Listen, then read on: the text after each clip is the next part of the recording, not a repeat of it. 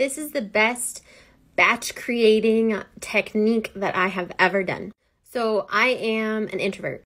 I'm also a mom of two kids. I'm very busy. Life just goes constantly. So, trying to remember to create content, trying to be ready to create content, and trying to have energy to actually create content every day is really tricky.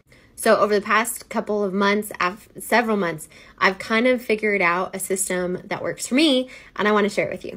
Once a month, I sit down with my entire schedule and I write out the content ideas that I have for that month.